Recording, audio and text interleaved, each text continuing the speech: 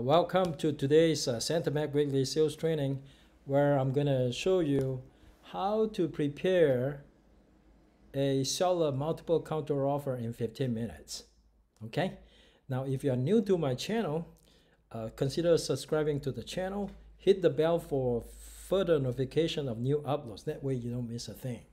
And if you like this video, share it with your friend. All right, without further ado, let's go ahead and get started and I'll show you a different screen right now. Uh, it will say new because I'm adding a new template, okay? Now this new template will be uh, select a template or type to get started. Uh, let me say new purchase or offer here. The name of the template is uh, seller multiple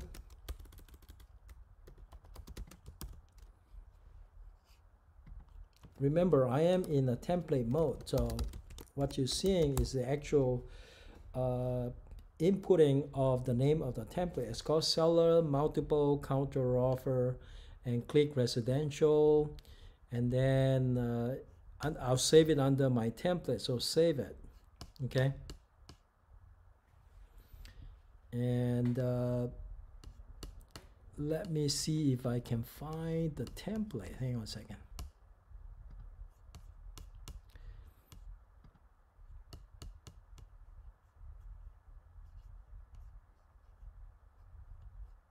there are no documents to display. Hmm. Okay, let me go back to the list again. Seller multiple counter offer. Double click. Oh, I need to get it into that folder here. So uh, let me add the forms, all forms. So it will say SMCO. SMCO stands for seller multiple counter offer. So when you look for form, always use the acronym. You'll save you some time. So I'm going to click seller multiple counter offer number one. Okay. And I'm going to double click that. Now this is a template, remember. So seller multiple counter offer number, I'll leave the number uh, blank because sometimes you will have to do more than one multiple counter offer.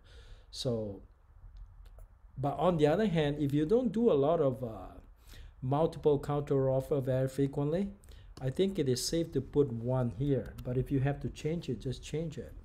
Now this is a counter offer to the purchase agreement. Most of the time it is. However, sometimes it is uh, something else. Sometimes it could be uh, the buyer.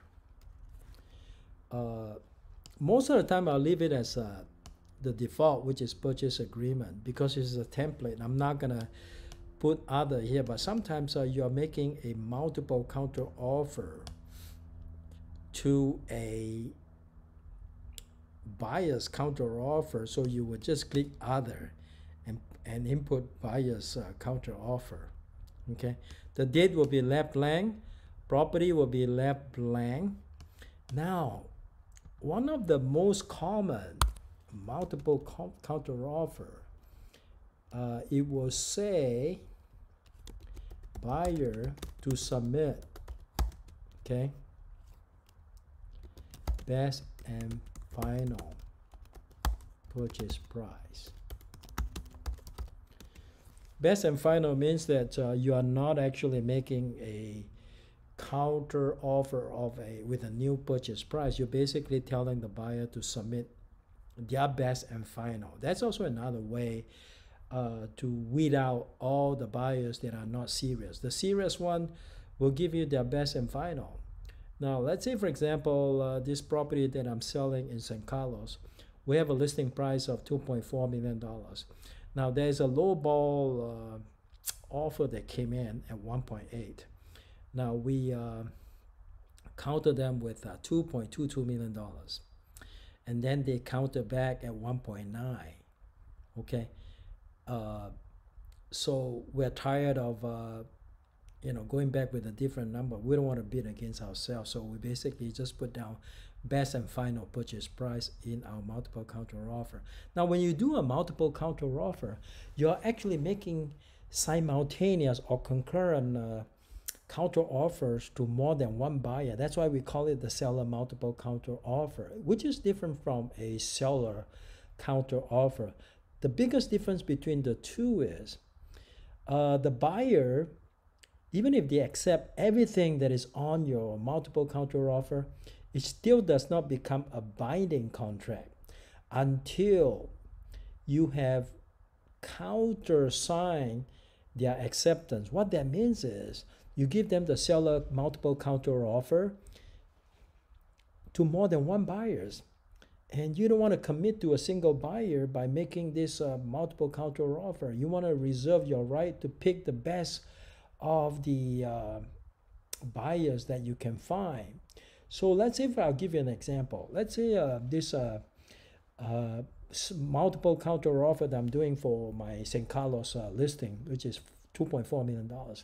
Now I sent out a buyer to submit best and final purchase price to two different buyers, and they both came back with uh, a uh, their best and final, and based on that, I can decide who I want. So even if they submit a new price, we still don't have a, a binding contract because I still get to pick a buyer from the multiple counter offer that I send out. Does that make sense? Hopefully it does. Okay. And then it says here the following attached addenda incorporated into this uh, multiple counter offer. Now, sometimes, uh, you know, there are so many terms and conditions in the multiple counter offer that you run out of space and uh, you want to include an addendum, which you can. Now, the binding effect here, this number two here basically says sellers making multiple counter offers to other prospective buyers on the same terms uh, or maybe may not be the same. So you can actually make multiple counter offer uh, on different terms to different buyers. They don't have to be the same terms. Okay. Now it's actually uh, that's just a template that I prepare. Okay. Uh, which I don't really think that I have much else to say. If you just use the default, it's actually a very quick way uh, to design a template. So I'm just going to click it save. Okay. Now uh, let me go into my transaction. Let me go back here. I go into transactions and I go into 240, 240 Coronado, which is my San Carlos uh, listing. And I want to use a template so I would click uh, document and uh, I will say apply template.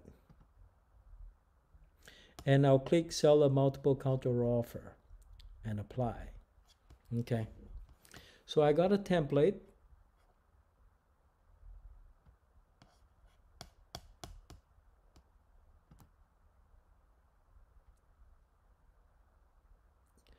Uh, not this one.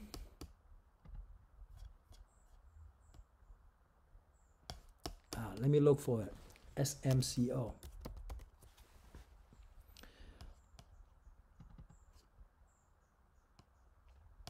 Uh, this is actually not the template, but uh, for whatever reason, because I already have a pre-existing uh, seller multiple counter offer uh, number one, which I did not create from template. That's why you're seeing this. Now, what about if I, uh, what about if I delete this, okay? And now I'm going to apply template.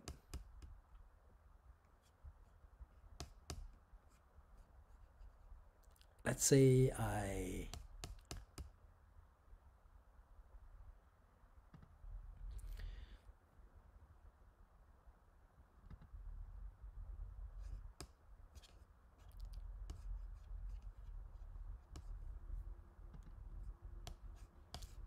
let me all right go back into the folder. And I'll go into documents. And uh, I'm going to apply template. And I'll click seller multiple counter offer. Apply. Okay? All right. Let's see if I can find that template. All right, I got that template here. You see, uh, my default is uh, sell a multiple counter offer number one, which is right one. And I'm making a multiple counter offer to the purchase agreements of different buyers.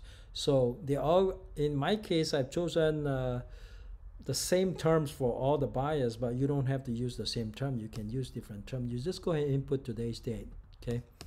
And then uh, the purchase agreement was actually dated yesterday's date, so I'll put uh, August 3rd, okay?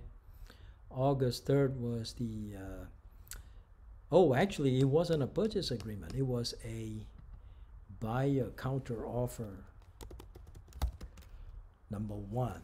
So in this case, I'm making a seller multiple counter offer number one to one buyer, and then I'm making a seller multiple counter offer number one to another buyer. They both have to say number one because I'm making it to two different separate buyers. This is the first time I'm making the multiple counter offer, though they both will say one.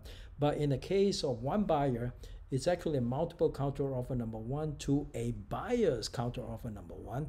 In the case of another buyer, it's actually seller multiple counter offer number one to a purchase agreement because that buyer just submitted a purchase agreement. So you got to make sure that you you check the right box and input the right information. If it's not a seller multiple counter offer number one, please do not check the other box. You will just go with the default or purchase agreement. Now, uh, it will say here buyer to submit best and final purchase price. Uh, you can add whatever terms you want to add in your multiple. So for example, it may say buyer, it will say buyer to pay for all escrow and title. Now because I'm, I'm selling a fixer upper, so I can make the buyer do that. Uh, pay for escrow and title okay? And then it will say uh, other terms for example you'll say seller to rent back 60 days. Okay now again because it is a fax fixer and also my seller wants a 60 days rent back. So whatever additional terms you need you just put it in here. So I'm gonna go ahead and save this and uh, it will be safe okay? Now some people will put uh, things like uh, all other terms and conditions remain the same uh, it's not really required but if you want to put it in there uh, that's fine too okay uh, it is really not necessary okay now it's time to do e-sign now, when you do the e-sign, uh, you always want to include the buyer's uh, counteroffer. Okay. Now, in this case, uh, uh you want to include the buyer's counteroffer in your uh, e-sign, but since I don't have it uh, uploaded to my folder, so I'm just gonna skip that because the proper way to prepare a seller multiple counteroffer, number one, is to attach the buyer's uh, counter offer number one to the seller multiple counter offer number one. Sign both documents. Have your seller docu-sign both documents. Now, if you have, if you are making a seller multiple counter offer number one to a purchase agreement, then you will want to attach the uh, purchase agreement to the seller multiple counter offer number one. So you have a complete document. So you, uh, whoever that is uh, looking at the seller multiple counter offer number one knows to which document you're making a seller multiple counter offer. Okay. Now, if I go through the e-sign and I'll click my seller's name, okay, close. Bear in mind, I'm not attaching the buyer counter offer number one, which I should, but I have not have it uploaded yet. So uh, when you're actually doing it, make sure you attach the buyer uh, counter offer number one or purchase agreement, whatever the case may be. So you have a complete set of uh, counter offer that you are sending. So I'm going to say click next.